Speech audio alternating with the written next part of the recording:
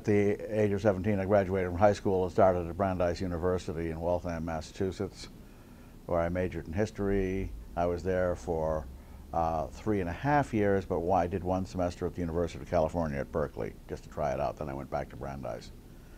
Um, this was before Berkeley became Berkeley. um, at that point, it was largely a state run, a large state-run school dominated by um, uh, fraternities and sororities. And then it changed. um, and um, I majored in history, intellectual history to be specific, which is the history of uh, evolution of ideas. That's always been my orientation. That's my PhD is actually in intellectual history also. that, that makes perfect sense. History of religion, history of science, to be precise. Um, and uh, simultaneously with starting starting the study of uh, starting school, I started doing a more uh, vigorous study of astrology, which I'd been exposed to for several years prior to that by my father, who was who had backed into it, as I always like to put it.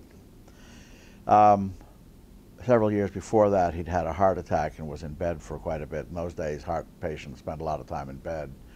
And um, he started studying the stock market and he noticed certain funny rhythms and he started putting in things like the phases of the moon, New York City tide levels, and found a lot of correlations.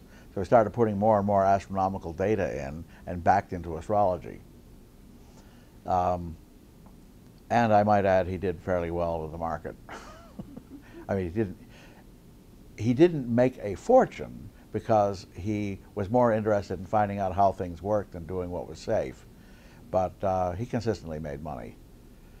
Um, so in the fall of 1960, I started, uh, my father got me all the necessary books to really start studying astrology, and I started studying it more aggressively. Uh, but I did, a, I did a very, uh, I did not start studying conventional astrology at all, which is why I still have this penchant for not doing conventional astrology. I never did. Uh, he did heliocentric astrology, and with a certain rather strange combination with geocentric astrology. But anyway, that got me started in the study of astrology. Then he died in 1963. And uh, while I continued studying over the next several years, the study was less intense because, frankly, I had nobody to talk to. I'd already begun to meet conventional astrologers at that point and discovered that what I was doing, what they were doing, was very different. The only thing we had in common was correlating things with planetary motions, and we did have birth charts in common, but it was totally different. Then in 1972, well, excuse me, then in the middle there, I spent a year at Princeton Graduate School in the year 67, 68, where I was studying history of science. And the department at that time was headed by uh, Thomas Kuhn, he of the paradigm. So in other words, I was in the perfect place, but I only stayed there a year because I decided at that point I did not want to become an academic.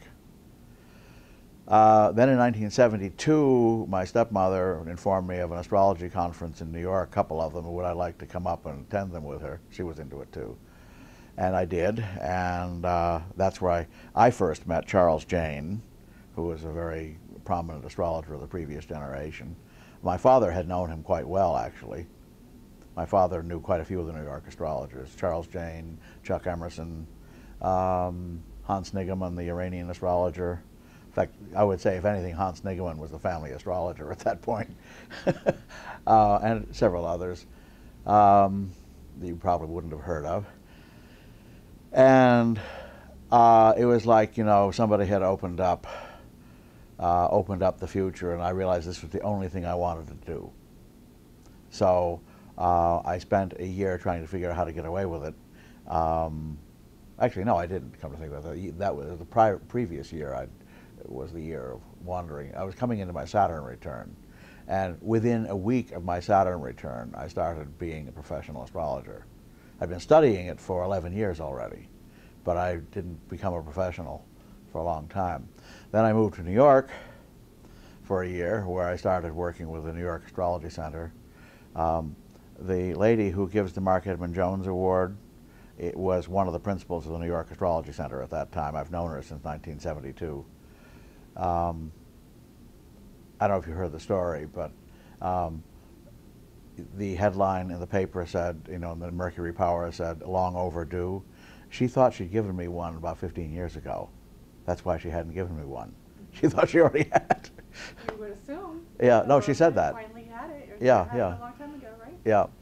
Um, but so, at any rate, from that time on, I was up to my eyeballs in astrology. I spent a year in New York, then moved back to the Boston area, and there I met uh, through mutual friend in New York, actually very important mutual friend, Neil Michelsen, connected me to a guy named Frank Molinski, who was looking for somebody to write computer text for him. And to make a long story short, the computer text led to Planets in Composite, Planets in Youth, and Planets in Transit. Uh, he also had the brilliant idea, because he'd been, done this with another author, uh, Frank Pelletier, publishing the computer text as books for astrologers as well. And that's where those books came from. And uh, that went on for several years in that manner. And then in the, uh, let's see, late 70s, uh, Astrola- uh, Astrographic Services, it was, as it was first called, was founded. And that became Astrolabe software. And um, that was uh, things went in a fairly even keel until Project Hindsight emerged in the early '90s, and uh, uh, I, I Robert Schmidt, Robert Zoller, and I founded Project Hindsight. Um, the, the, the name of my company, Arhat, actually came into being at that point. It was originally Association for the Retrieval of Historical Astrological Texts. And um, uh, when, when Robert Schmidt and I came to a parting of the ways in 1996, 7, 1997, um, I, I kept the name Arhat and he kept Project Hindsight. But they were actually two different terms for the same movement at the beginning, although that fact has been a bit obscured. The, uh, and that's how I came to the attention of Kepler. I knew about the Kepler College creation process because I'd been speaking at NORWAC every year for years, and I kept hearing about this process, and I, of course, expressed my interest. Uh, I didn't expect to be on its faculty ever because it was so, the faculty at that point was entirely derived from the Washington State area. Um, and then when when it was finally announced the school would open, I was surprised. I was surprised to be asked to teach the introductory history course, the ancient history part, along with uh, Nick Campion and Demetra George. And uh, I accepted. Uh, they originally wanted Robert Schmidt uh, because of his involvement with Greek astrology, but they found Robert Schmidt's requirements not easily met, so they turned to me and I was perfectly, I would have been perfectly happy to keep right on teaching history, but then, then there, there came the problem. The problem was that without a master's degree, I could teach only one term of one course per year. So um, I started looking about for places to study medieval history, which is what I decided I wanted to do. And um, I called up a professor of medieval history at George Mason University, which is the state university of Virginia, one of them. And she said, You don't want to come here. You want to go to Catholic University of America in Washington, D.C., which is where she'd gotten her doctorate, uh, because they have one of the finest medieval history programs in the United States. And most people don't know this. This is not a school that is terribly known for its academic achievement, but there are certain areas where it's unbelievably strong, and this was one of them. Uh, anything to do with medieval is unbelievably strong there. That and the science department. philosophy department's pretty good too. Um, I have enormous respect for their philosophy department. My standing joke is they don't study medieval history at Catholic University, they do it. And they do it very well. I mean, it's modernized a bit, but they, they, they actually apply Aquinas, Duns Scotus, and people like that to philosophical problems. And uh, these guys are unbelievably sharp. um, and they can really, really pull the rug out from under modern philosophy. Well, this is obviously something I was looking for. um, so I went back to school with the idea of getting at least a master's so I could teach more at Kepler. And uh, it became obvious, well, it was obvious in the beginning that if I could get a doctorate, I should. And you may say, well, why was it a question? Well, in the history program at Catholic University, you do not automatically go for a doctorate. You have to be invited after you've done your, after you've been there a little while. They've decided whether you're doctorate material. And they decided I was. So um, I've been doing that ever since. At this point, I am no longer an amateur translator. I'm a professional. And, it, it, and if I showed you my most recent translation work versus my earliest, you'd see the difference immediately. Uh, my translations now read well without distorting the meaning of the text. My earlier ones read like translations literally from the Latin, which they were. You have to understand the sciences and the humanities are a little different in their traditions. Um, the sciences um, uh, are much more likely to be dogmatic about ideas, oddly enough. The humanities, what happened in the humanities is the children of the 60s became the establishment. And that made, created a great deal more openness to astrology. When I was in graduate school in 67, 68, the word I'd received was that if anybody knew of my interest in astrology, my academic career was over. In 2002, uh, the revolution had occurred, and while doing astrology was not held in particularly high esteem, the study of its historical and social significance was a perfectly legitimate field and was already becoming a thriving academic specialty. For the most part, I hasten to add, done rather badly because the academics in question knew almost nothing about astrology. In fact, my PhD dissertation is partly designed to make that point. Um, and I made it in my proposal too. I said that to be a historian of astrology requires a knowledge of astrology similar to the knowledge of physics required of a historian of physics. And it is as technical a discipline, it just doesn't have quite the cachet. so uh, when my teachers found, uh, my teachers didn't find out about my interest in astrology until I'd already made it clear to them that I was a competent student. And by that time, um, the reaction was far out. Uh, you know, just play the game according to the rules and there are no problems.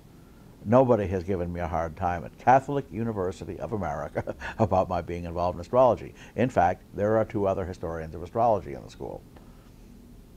That's amazing. That says a lot, mm -hmm. I think. Yeah. History of astrology is a perfectly legitimate academic field. And at the last History of Science Society uh, conference in Arlington, Virginia last November, um, the, there was a whole track on Saturday morning of nothing but the history of astrology. And while we had a small room, we had the highest attendance of any track I saw. The room was full, and the other ones occurred to these big auditoriums. There'd be one or two people. You know, astrology has a role to play in society, which is quite independent of whether astrology, quote unquote, works.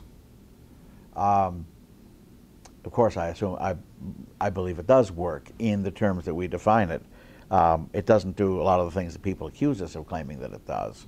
But uh, I mean, it's not a fortune-telling medium, except occasionally, and that usually designates a person who is in a very rigid situation. But um, astrology is so much an alternative to the mainstream thought patterns of our society that it challenges them.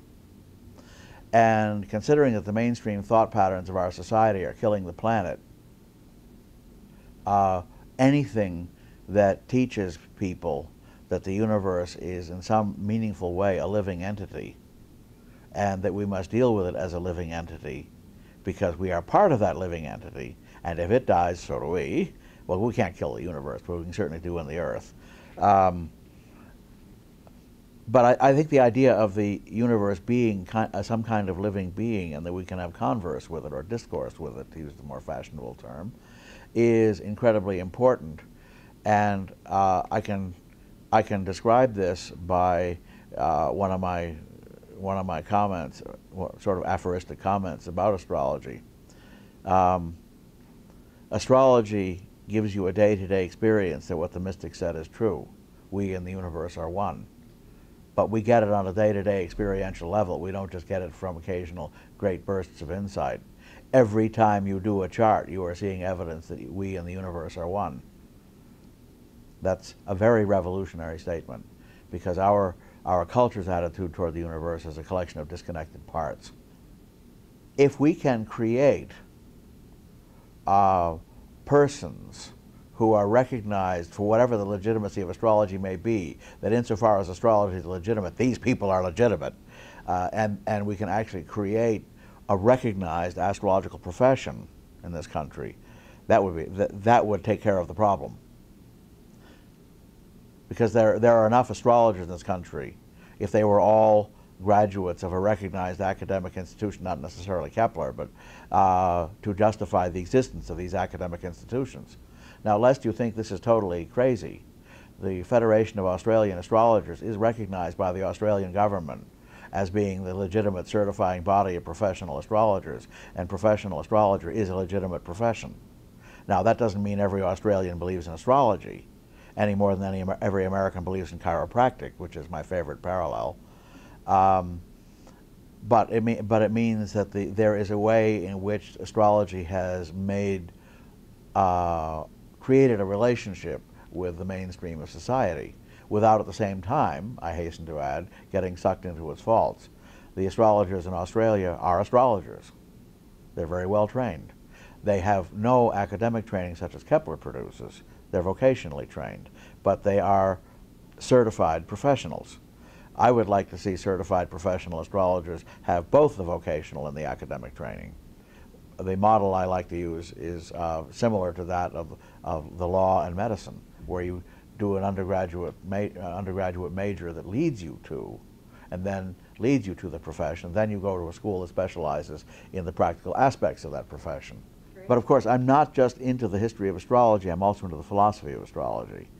And uh, I have some very, very strong opinions about the history of philosophy, which is one of my fields. Uh, uh, for the PhD in medieval history at Catholic University, you have to have two major fields and two minor fields. The major fields are fields in which you are a contributing academic scholar. The minor fields are fields you could teach if somebody needed you to. The minor fields in my case are history of medieval philosophy and the history of the early medieval Arabic and Byzantine worlds. In other words, I've got the transmission period covered there.